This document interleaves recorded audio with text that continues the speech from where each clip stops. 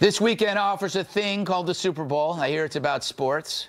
Like every year, everyone has to talk about the ads. Aren't they clever? Aren't they funny? I hate them.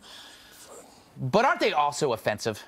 Our very own Katherine Timpf is back to let us know what we should be outraged about this year with a special Super Bowl edition of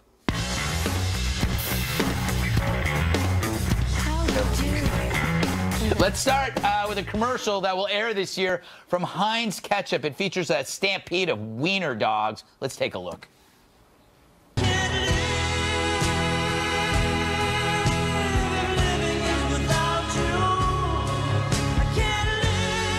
It's hard to resist great taste. Meet the ketchups. Kat, what's offensive about that? Ever hear of the wage gap, Greg? It's not a myth, it's a math, all right? This is proof of that.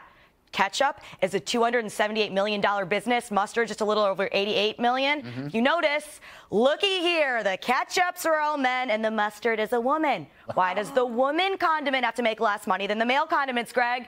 You, are you mad? Are you not offended by this? Well, right? actually, you're sexist, all right? You need to get on board the sane train with the rest of us and realize this is real. More people, more people enjoy ketchup than mustard.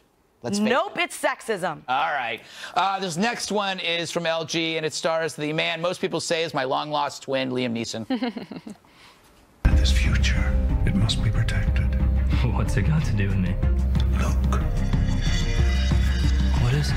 It will change everything. That's why they want to stop it. They will come after you without cease. Because the future belongs to us.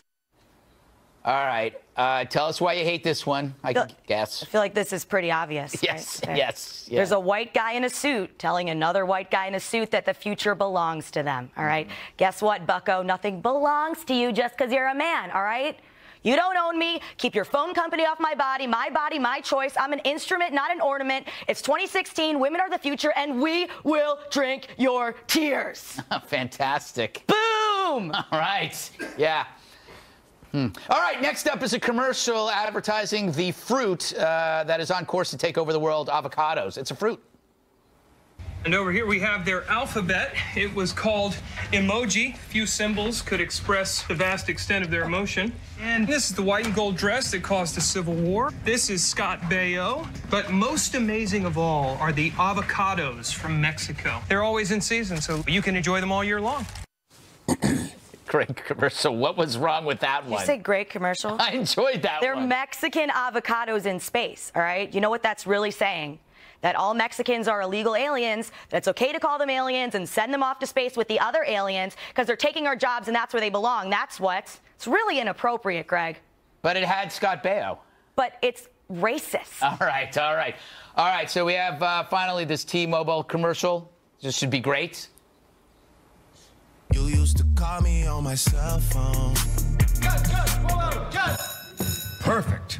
Here are the changes. I love changes. When you say call me on my cell phone, just add device eligible for upgrade after 24 months.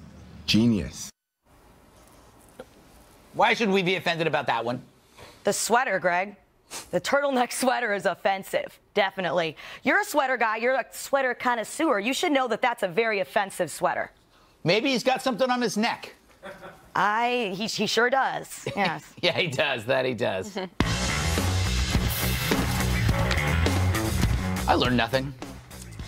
Lots of things are offensive.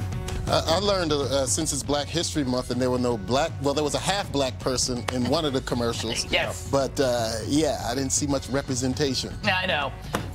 There you go. Still ahead.